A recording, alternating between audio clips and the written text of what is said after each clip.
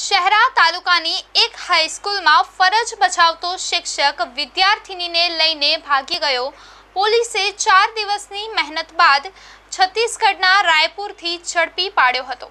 શિક્ષકે એક સગીર વયની દીકરીને બદઇરાદાપૂર્વક પ્રેમ જાળમાં ફસાવી બગાડી ગયેલ હતો.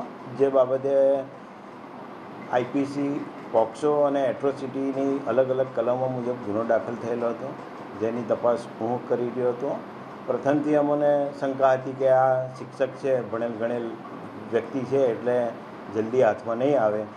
એ માટે અમારા એસપી શ્રી હિમાંશુ સોલંકી સાહેબ અને બીજા સ્થાનિક રાજપૂત સાહેબ પીઆઈ સ્થાનિક રાજપૂત સાહેબ અને તેમની ટીમો લગાડેલી. એટલે હ્યુમન સોર્સિસ અને ટેકનિકલ સર્વેલન્સના આધારે આ લોકોનું અમે પીછો કરેલો.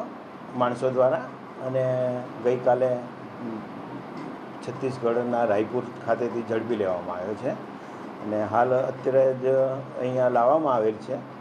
તેઓનું મેડિકલ ને વગેરે જે કંઈ સરકારી તપાસના કામે કાર્યવાહી કરવાની છે એ કરવામાં આવશે.